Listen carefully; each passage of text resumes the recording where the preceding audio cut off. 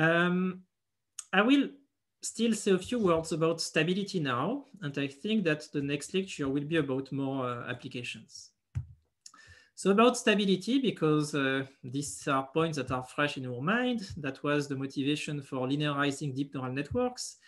And uh, there was a motivation about controlling the stability of predictions, if you remember this.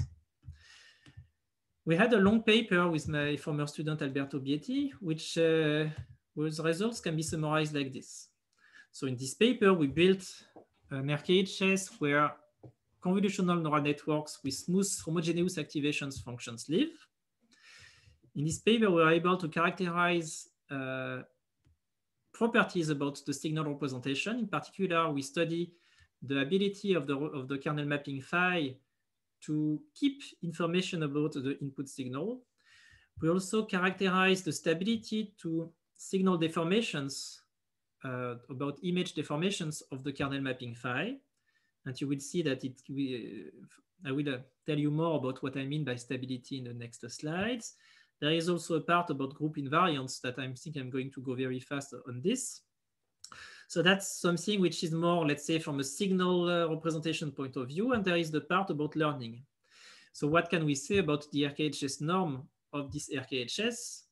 Uh, can we derive stability and generalization bounds for predictive model, even that? Because we have seen in the class that the RKHS norm is often what we care about if we want to derive some generalization bounds for machine learning models, at least ones that are based on kernel methods.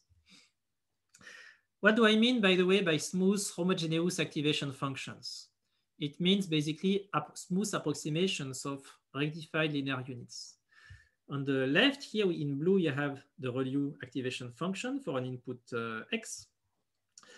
And in this orange uh, line, you have a way to smooth the ReLU function. So it's more or less the same. If you add the homogenization, it gives something which is also rel very related to uh, rectified linear units. There is a slope which is a bit different, but it's not a, a big deal. I, I, for this, I will see that as a way to get closer to ReLU simply because, well, ReLU is homogeneous. ReLU of gamma x is equal to gamma times ReLU of x.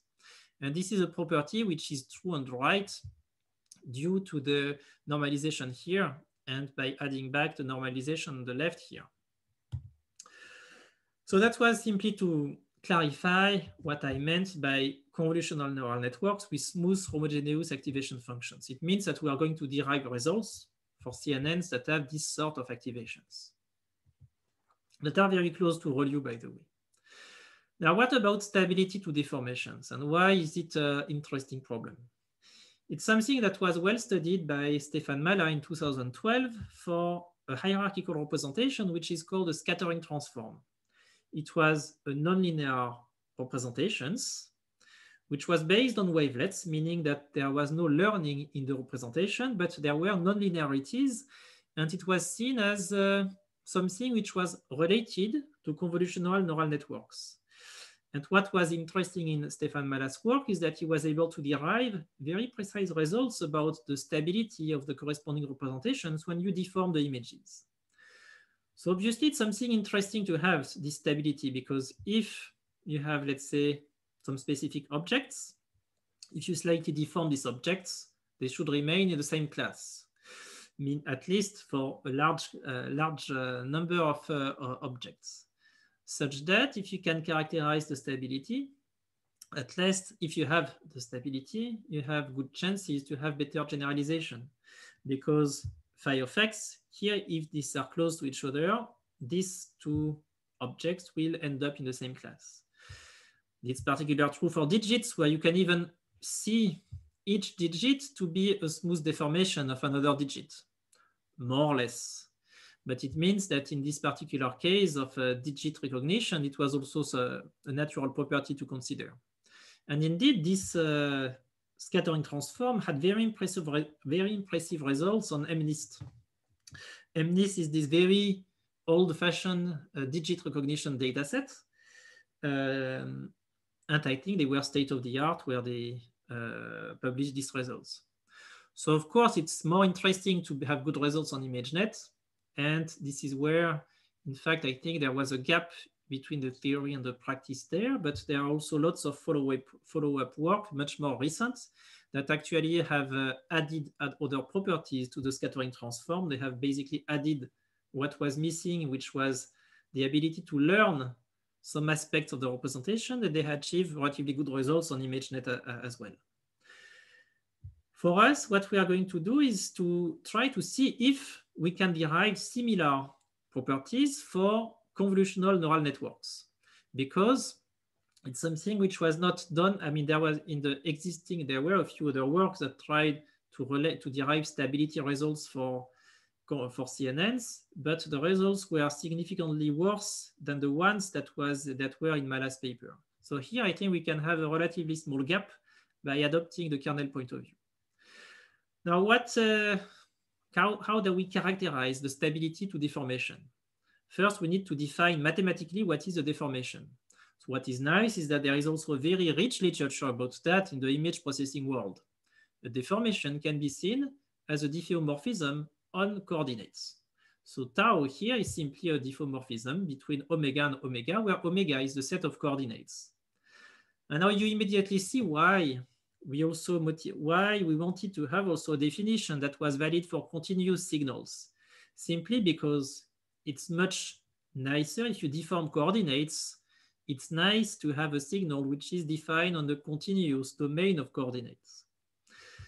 Now, what are now the uh, operation that will apply to some maps. Let's consider a map X, which is an image defined on some coordinates. We are going to consider the deformed image, which is the image after applying a deformation operator, which we called L tau. It's simply obtained by fetching at every location u a slightly translated uh, pixel, which is also which is translate which uh, whose translation depends on u okay, where tau here is the diffeomorphism. So here, this is things that are in fact very classical in, in some part of the image processing li literature. But what is less classical was the ability to characterize stability, which was uh, introduced by Mallat here for the scattering transform.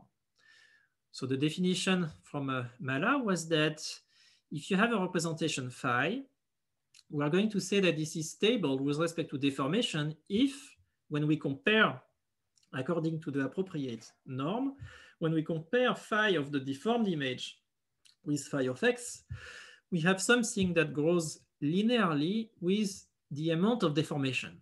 Okay, so now what does it mean? What, uh, how can we characterize the amount of deformation? We can characterize it with two quantities. One of them is the maximum amount of translation in U diffeomorphism, which is given by this norm here. And there is a constant C2 here. So if C2 is equal to zero, you will see that it will mean that your representation is exactly shift invariant, meaning that if tau is a translation, if it is a translation, it means that there is no deformation. The gradient of the translation is zero. It means that phi of L tau of x is equal to phi of x. So you have exact uh, shift invariance. So you, you, may not be interested in the exact shift invariant, such that you may allow C2 to be a quantity which is non-zero. But still, you want something that grows linearly with this amount of, of maximum translation in your deformation. You may also want to have something here that may goes to zero according to some uh, quantity of, uh, the, of your architecture.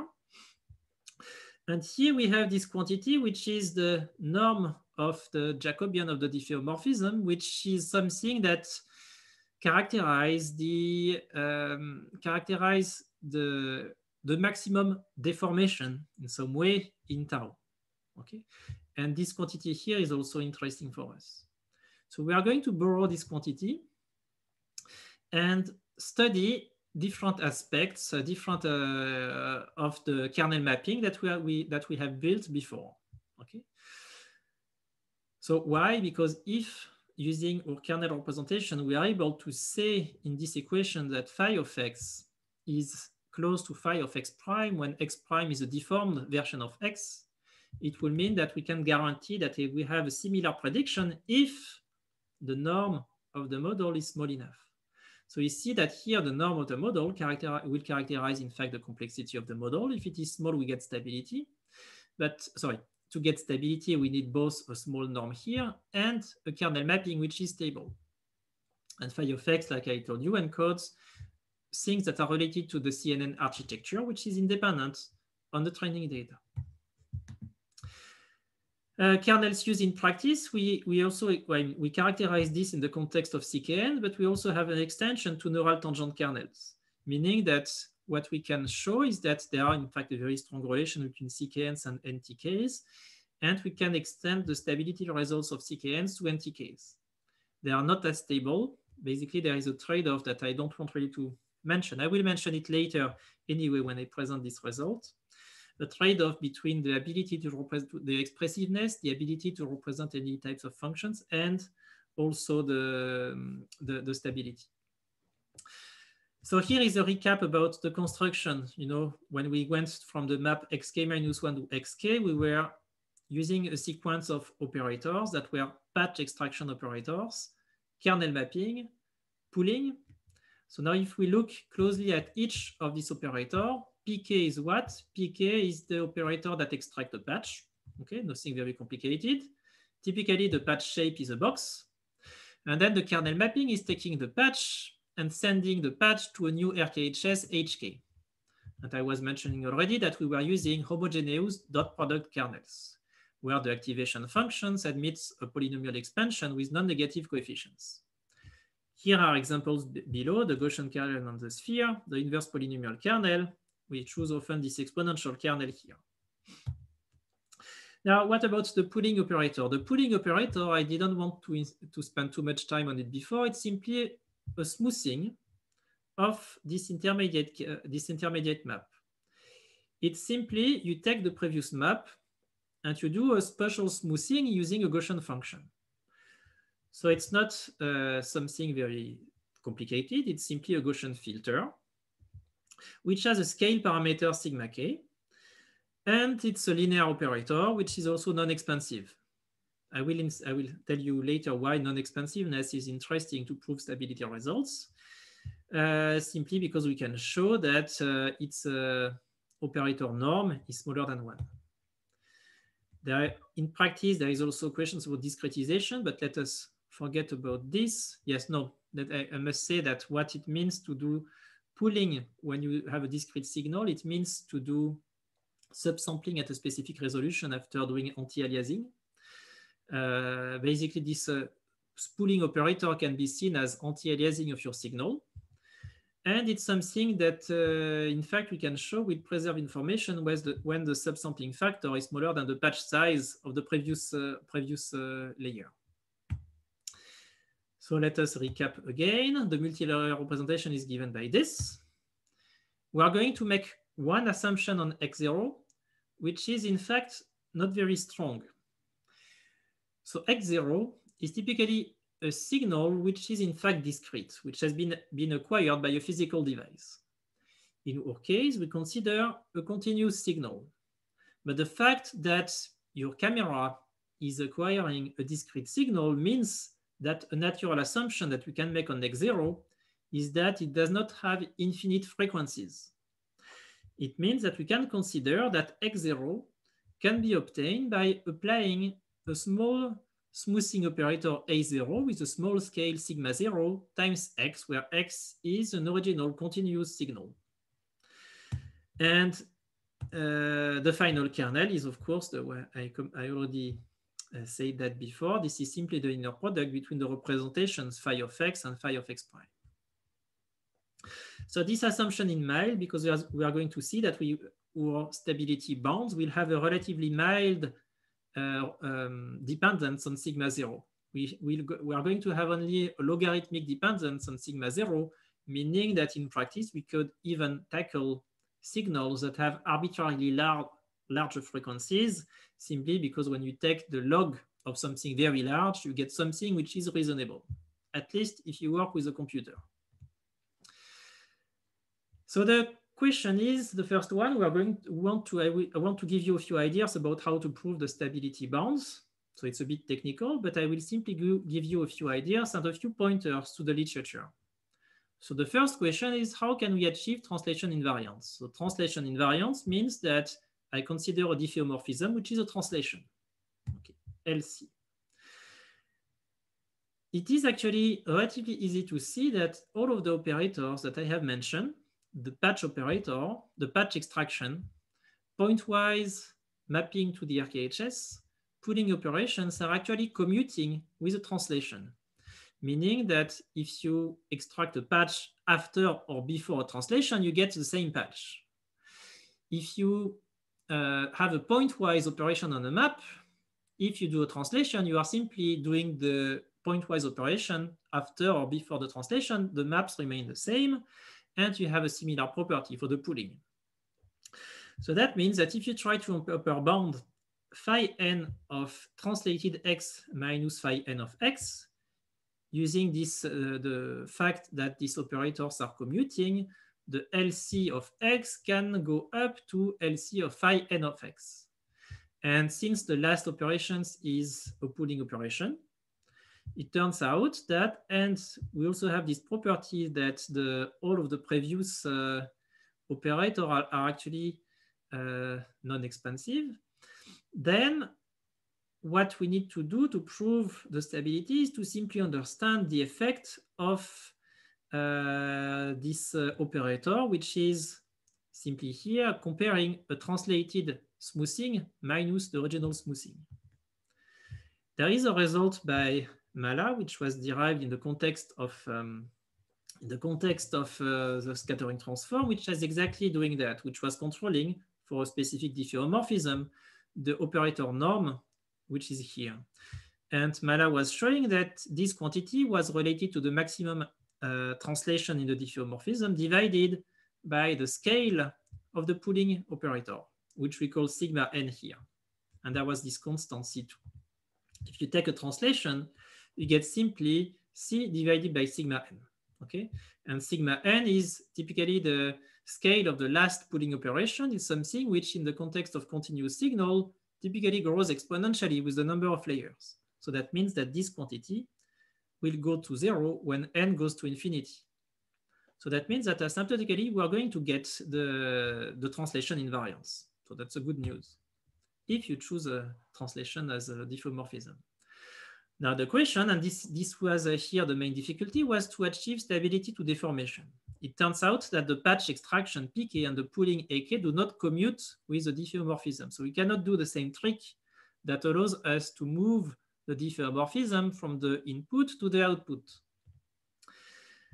There are still a few results that are useful from the, that were also derived from Mallat, which is that we can, uh, if we are going to try to move a diffeomorphism from outside to outside, there are lots of quantities that are useful to understand, which is what is the price you pay when you commute uh, an operator with the deformation. And there was this result, which was that at least for a smoothing operator like, like AK, if you commute with L tau, you pay this sort of price as much, which is something proportional to the amount of deformation. So it's a good news. And this quantity here we'll use this notation to denote the, the commutator. It's a good news, but we cannot say something similar for the patch extraction operator. This is a quantity here which is extremely unstable as soon as you have, have high frequencies in the signal. So the trick was in fact to group this patch extractor with the previous pooling operator and upper bound the commutator. So that was the most technical questions to solve and that was done by my former student Alberto Bietti, that could give us a result like this one, which was similar to what we can achieve, uh, what, you, you, what you had in Mallat's work about the scattering transform. There was a condition that was simply also saying that the size of patch here should be smaller than the scale times a constant kappa of the, of the previous pooling operator. Otherwise, you pay a price that go, well, which is uh, grows cubically with the with uh, for for images, which is not that large, but still it can gives stability problems if you have many layers. But this condition here is telling us that you get basically better stability with small patches.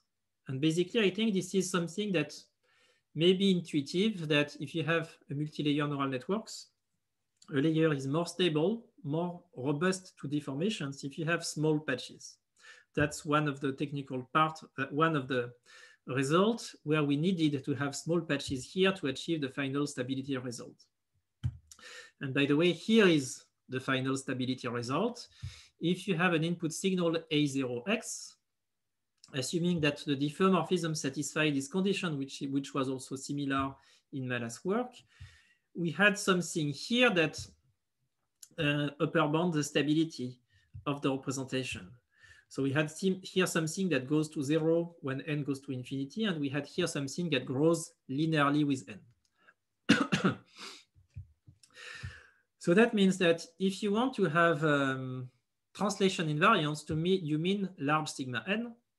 If you want to have stability, you need small patches uh, because the quantity c times beta is actually growing quadratically, uh, is growing cubically with the patch size. And uh, see if you want to have signal preservation, we can also show that you need to have a subsampling factor, which is about of the patch size.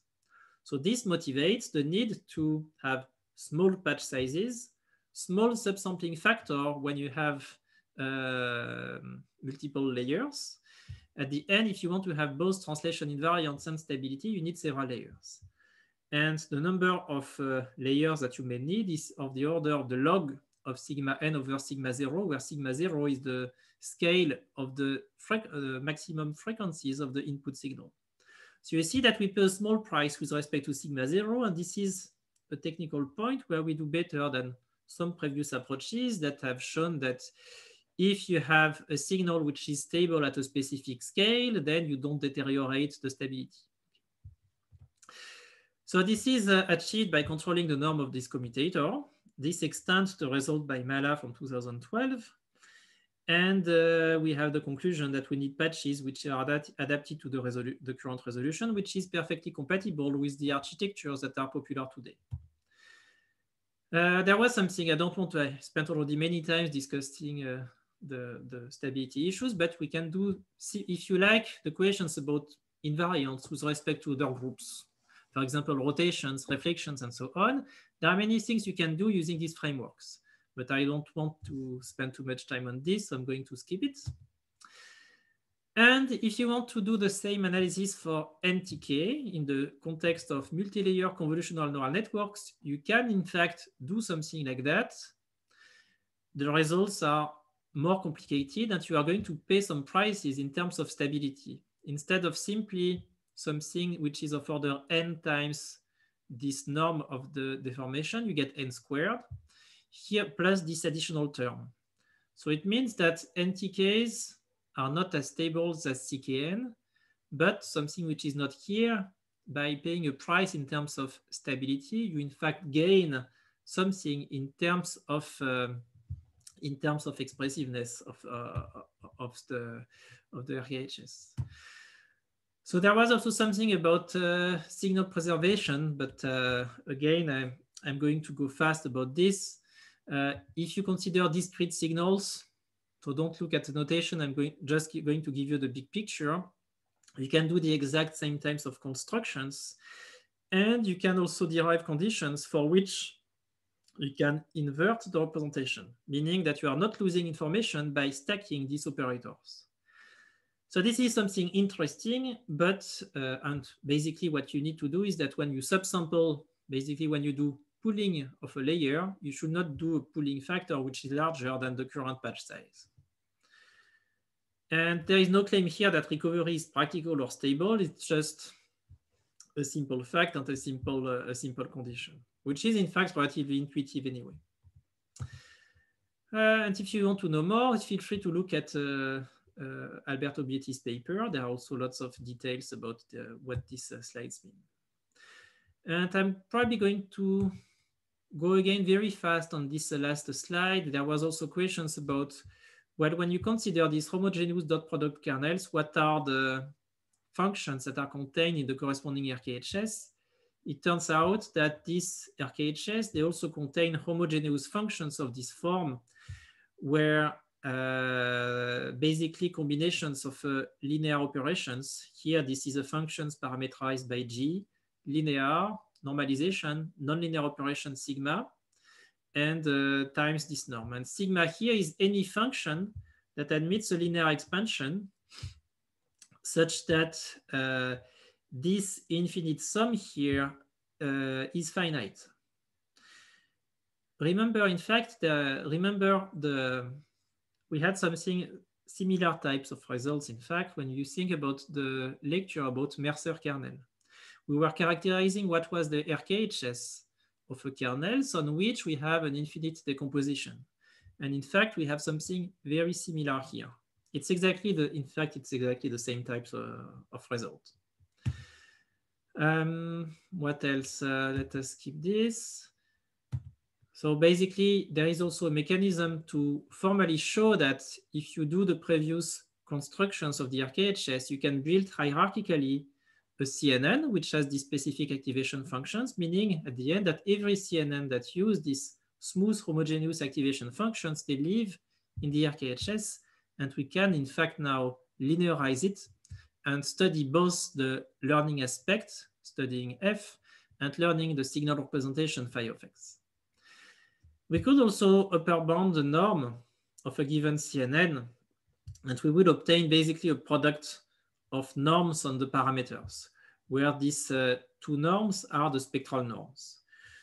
So it's very consistent, in fact, to existing results about CNNs that will upper bound the complexity of neural networks using product of spectral norms. It's something it just gives here a different point of view, a different way of deriving the results. So I don't know if these results are stronger and weaker than the ones that exist, but uh, especially this work, uh, this nice works by uh, Bartlett et al., Neyshabur et al. But at least the point of view is consistent with existing generalization bounds that appear, that appear in the literature.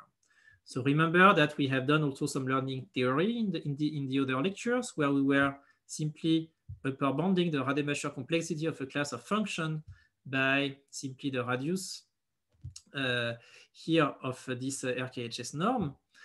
And uh, basically, this is a way to obtain classically some, um, some generalization bounds. Okay, so here is the conclusion about this part. Well, what we have done is to build an RKHS for convolutional neural networks. We have studied some stability properties of the corresponding representations. Uh, there was a part about group, in, group invariants, but I went very fast on this part.